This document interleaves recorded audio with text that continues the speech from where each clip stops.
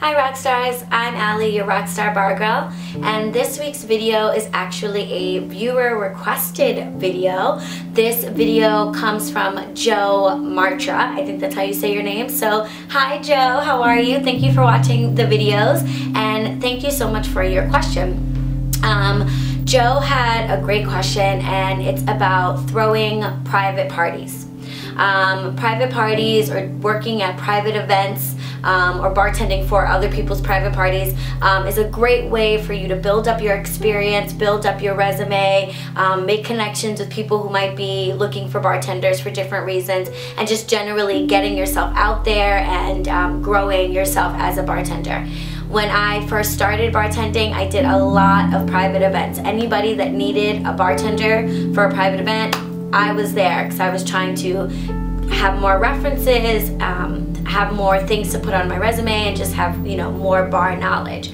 So I definitely recommend working private events whenever you get the opportunity. If you're like Joe and you want to make it something you do on a regular basis, then there are ways for you to approach um, bartending private parties in like an organized and professional way so that you can have um, a regular rotation of parties and do it regularly. So I wanted to cover that in this video. So first of all, just to make sure I'm clear about what I mean when I say a private party. If you are working in a bar or restaurant, a group might reserve either a portion of the bar or the entire bar for an event um, and when they when they buy or rent that portion of the bar or the entire bar, the understanding is no one from the public is either allowed into the bar or allowed at that table or allowed in that section. So that is a private party. But because it's happening already within the daily operations of a, working bar, there really isn't anything for you to know. It would just be a part of your regular day, and your manager might come over and say something like, There's a party of 25 in the dining room from 6 to 9 o'clock. Um, it is common for parties that book at restaurants and bars to have some type of a package. So they might have a drink package where they're entitled to well and beer drinks you know, for free all night, um, or they might have a premium package where they're entitled to everything all night. Um, but whatever it is, it doesn't really make that big of a difference to you. Your manager will tell you which one it is, and then you just act accordingly. Everyone from that party can get the type of cocktail or drink that's included in their package, and anything that's not included, they pay for. Other than that, there is probably not much that you need to know. So that's not really the type of private party we're talking about. We are talking about private events that are thrown by individuals, sometimes companies, but they usually happen in catering halls or in private residences, somebody's house, um, or even um, in an office space and in which case the space is not a regular functioning bar or restaurant. It's not already set up with liquor, etc. It's just a space. And you are going to come in and be in charge of the beverage or the cocktail part of it. There might also be catered food, there might be a DJ, there might be performances. So there may be other employees that have also been hired for the night. Um, but typically you will be hired to take care of the drink service because the event that you are bartending is not happening in a place that functions as a bar or restaurant, then you should expect that you will have to do a lot more than you would if you were just working in a bar or restaurant in terms of like setting up and being involved with what is actually carried at the bar or what's happening at the bar. You kind of want to think of yourself as an event planner, but just for the bar portion of that person's event. So you should be expected to do as little as show up and bartend, which is not likely, or as much as actually purchase the alcohol and mixers for the event. Um, so I'm gonna walk you through kind of wrapping your mind around what that looks like and how to approach it to make sure that you handle it really, really well because I've seen newbie event planners or newbie bar bartenders, people just starting to do private events really, really botch the situation and not provide like the basics of what you should have if you're doing a private event. So I want to make sure that doesn't happen to you. So we're going to go over that right now. So, important tip number one before you even get started with telling anybody that you can work a private event for them, I highly, highly recommend that you go and buy yourself a portable bar tool kit. Um, there are plenty of these out there. Uh, the one that I purchased way back in the day for myself was from barproducts.com. I definitely recommend that website. Um, they have some portable kits that come in nice little compact bar bags or carrying bags, um, but you can really get kits like this from anywhere. Just Google it and you'll get tons of options. You're looking for a kit that includes um, pretty much everything that is included in your bar tools and setup video. So click the link above if you didn't see that video or you don't remember it. But all of the tools that are in that uh, video are what you want to have at a bar in order to build drinks. So typically a toolkit will have a set of shakers, it will have a strainer or two, it may have a jigger, and a bar spoon. It'll probably have a beer opener and a wine key as well. Um, that's pretty much what you would expect in a standard um, bar kit. I think if you're going to be approaching private events in a serious way, it wouldn't hurt to also buy yourself a rubber mat and a napkin straw caddy. The reason why you would want to get those two things is because they make your life way, way easier when you're serving at the bar. One.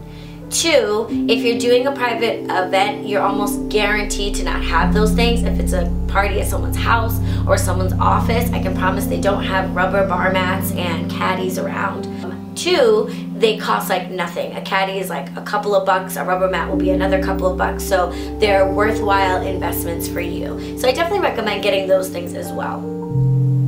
Item number two is the second most important thing, and that is to schedule a consultation. This is key. It's just like being a hairstylist or a wedding planner, anytime you're going to be providing a service to somebody that's really, really specific, like when you're working at a bar or restaurant, you're not you want the guests to be happy, but you're not tailoring everything around them. The bar or restaurant is created, and you're hoping that they're happy with what you give them. With a private party, the person hosting is probably going to be looking to you to create something specific in their minds. So having a telephone or in-person consultation is really, really key. You're gonna need some important information to know exactly what you um, are to provide and what they're expecting from you. So in your consultation, there are a couple of things that you definitely want to cover.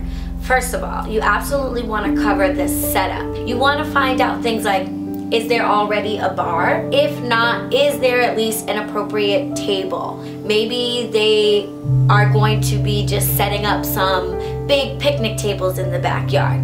That's fine, you can do that, but that means that there's probably not gonna be a sink right there or an appropriate place for ice, right? So that means now you have to be thinking about do I have a cooler for ice? If not, do they want me to provide that? Etc. So the setup is important. The second thing you want to go over in your consultation is your presentation and your duties.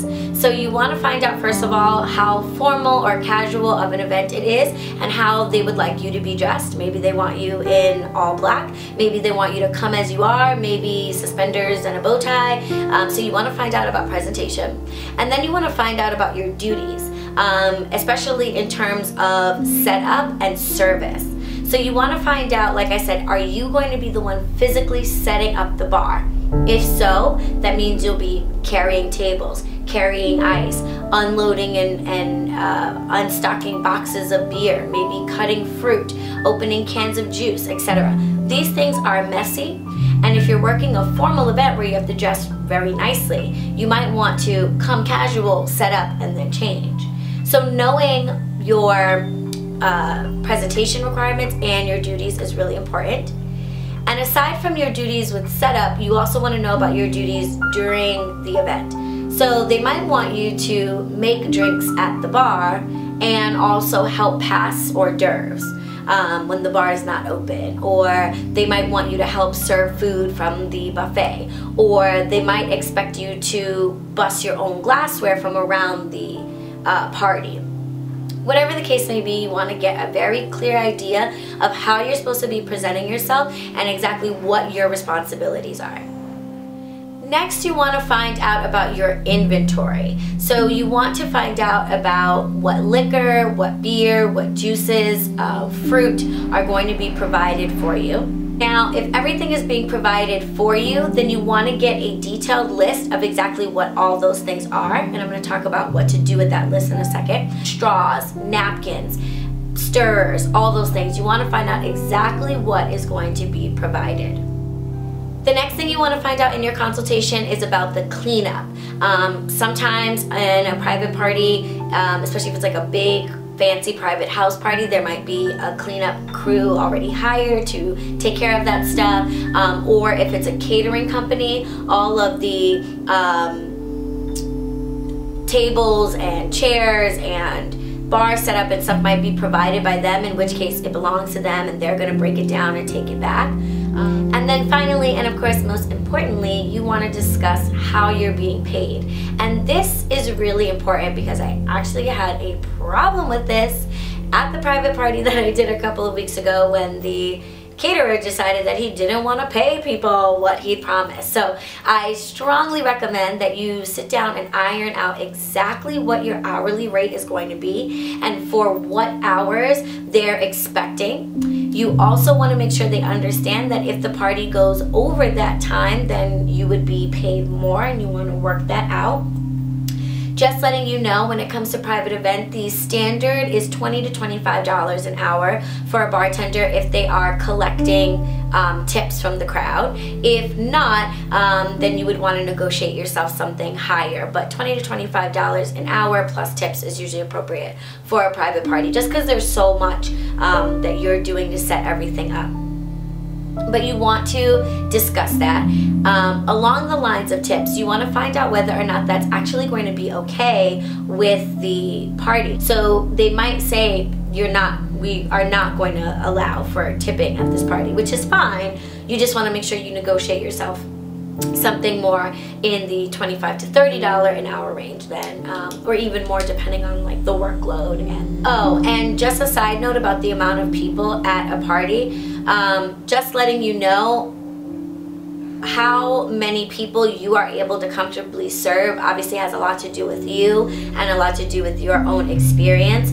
I will say that someone like myself feels completely comfortable bartending a party of 100 to 150 people without any help. Okay? I would, however, recommend that if you're just starting out that you not um, take on a party bigger than um, 100 people.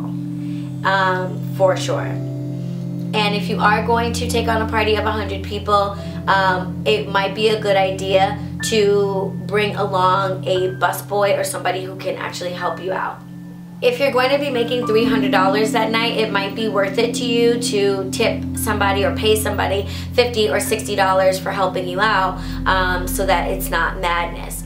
If you are hosting or bartending a party for more than 150 people, experienced or not, I definitely recommend that you bring a second bartender. And you can discuss this with the host of the party. Um, perhaps they would like to independently hire a second bartender, that can get sloppy. So what I usually recommend is um, that I simply bring along my own second bartender.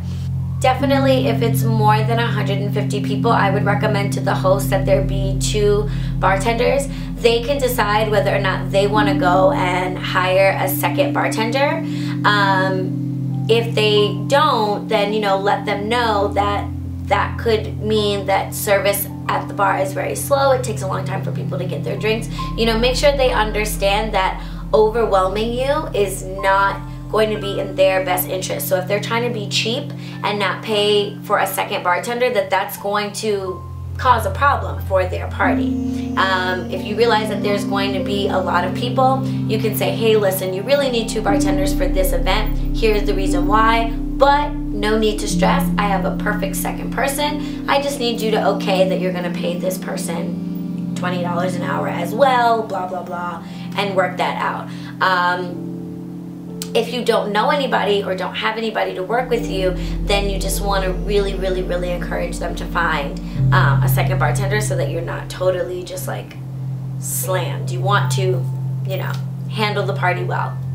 Okay, now let's talk a little bit about that inventory list that I talked about before um, because this is um, this is where your own individuality as a bartender and your skills and your ability to understand how to set up a full service bar really comes into play. Um, and if you feel like you are not comfortable setting up a bar from scratch, then unfortunately I would say avoid the private event thing. This is really for that bartender that feels like they could walk into an empty room, fill it with liquor and beer and glassware and etc. and and rock out by themselves. So Here's what we're gonna do with that inventory list. Option number one is that the host says everything you need for the party is going to be provided. We are going to be buying the liquor, the beer, the juices, the sodas, the glassware, the straws, the napkins, all of that. Wonderful. You're gonna take that list that they give you and you are going to make a cocktail menu with the different spirits and mixers that you can make. Nothing crazy. Three drinks is fine. Five at the max. Make yourself a menu and put them on little cards that you can put at the bar. The thing about a private event bar is that it's even if there's tons of stuff, it's still not going to be a full service bar like in a bar or a restaurant. So you're going to run into the issue of people wanting things that you simply can't make. What makes life a lot easier for you is if you give people three to five cocktails to choose from, right? 75% of people are going to pick from those cocktails and you won't have to worry because you know you have those ingredients. As opposed to having a 10 minute conversation with every single person about all the things they want that you don't have. Okay? They can go right to the menu and if they don't see something that they like, then they can say, I don't want anything. Do you, do you just have a Johnnie Walker Black? I just want that on the rocks. And then you can go from there. But you don't want to have that conversation with every single person. So having a pre-made cocktail menu is going to help you immensely. Option number two, or option B, I can't remember if that was option A or option one. Anyway, option, the next option is that the host says, we don't know. We aren't prepared to provide anything because we don't know what we're supposed to get, which is fine. This is when you really are going to shine. What you want to do in this situation is you basically want to um, imagine in your mind that you were like opening your own little bar and you just wanted to stock it with just like the basics you want to make a list of that for the host so they know exactly what to buy you and provide you. So you would put like a vodka, a gin, a rum, a tequila, um, maybe one or two whiskeys, a scotch. Um, you might want to put a white wine and a red wine. You would want a couple of basic beers. You would want juices, cranberry, orange, pineapple, um, some sodas, um, and that would be the whole world of liquids that you needed provided for you. And from that list, then you want to go ahead and make your cocktail recipes for your little mini menu and make sure that everything that's in your recipes is on that list. So when the host goes and buys everything, you're going to have all the ingredients you need for your menu, but also just the basics that people are going to ask for, like a vodka on the rocks or three shots of tequila. If you don't know what your basic liquors are, then click on the link above to review the liquors um, video. Very, very useful. Definitely you are going to want to have a vodka, a gin, a rum, a tequila, um, a whiskey, and a scotch. Um, but then you might want to have um, some multiple options within each of those categories. So definitely review that video so you have a good idea of what the whole world of liquors is and make sure that you have like at least one of each of those things. Um, and then you want to have the basics of, like I said, beer, wine, and appropriate mixers. I also like to include on that inventory list um, things like napkins, straws, stirrers, and fruit for cutting garnishes. So now that you have your own portable bar kit and you know you're gonna have all the tools you need for your bar, you know how you're gonna set up your bar and how you're gonna dress and what responsibilities you're gonna take care of. You now have a full and thorough list of exactly what's going to be at the bar. Either the host gave it to you or you created it and you gave it to them. You have a short cocktail menu and you've made sure that you're going to have all of the ingredients for that cocktail menu. And you figured out the little details like whether or not you need to bring another person and how you're going to get paid. Once you've got all of that figured out, you are ready to go. You are ready to work this party. And there are two things to keep in mind as you do so to make sure that you are not stressed out and to make sure that you get as much reward from doing this event as possible. So the first tip is to understand that no means no. There's no need for you to stress out about anything that you don't have at the party, particularly if it's not your responsibility to provide those things.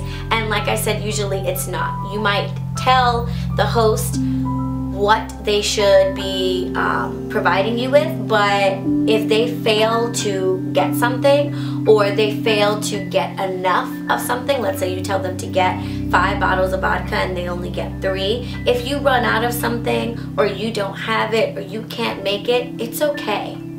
And there's no need to stress out about that. You're going to just smile and let the guests know, nope, I don't have that. Sorry, can't do that. Um, of course, you want to always follow up your no with an alternative. No, I'm sorry, we don't have any bourbons, but I do have Jack Daniels.